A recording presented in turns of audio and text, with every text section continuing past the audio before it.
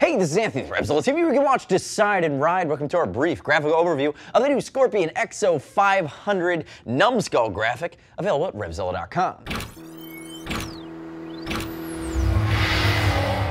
So we know the EXO 500 meat and potato sport helmet from Scorpion covers all of the bases really well. You're looking polycarb shell. It's got an aggressive enough side of things to cover you on a sport bike, and this is the Numbskull, DOT and ECE rated, two colors available. Notice as I spin it around here, you're gonna see matte black, you have some fracking going on. This is the high-vis version, there's also a matte black and matte gray version, and then to my recollection, I believe that would have been one of the villains from Scooby-Doo here on the side. Now remember, DOT ECE drop-down sun visor, and it's going to be an intermediate oval head shape, meaning it's a little bit longer front to back, should fit the American market just fine, and we ship for free over 39 bucks. So if you're concerned about sizing, don't be. The size chart's pretty rock solid.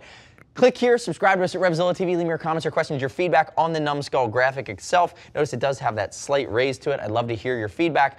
And as you get a shot as I bring it in here, you're gonna see this drop-down sun visor in action. Remember, it's a KwickWick lining, it's the Everclear shield from Scorpion, anti-scratch, anti-fog. They're even using the AirFit system on the inside of this bad boy so you can fine-tune the cheek pads. The next step in your journey is to click right here, read other rider reviews of the numbskull at Revzilla.com. You don't have to take my word for it. As always, we'll ship for free. And if you wanna talk to a gear geek, us at Revzilla.com or 877-792-9455. Thanks for watching our brief graphic overview. I'm Anthony. We'll see you next time.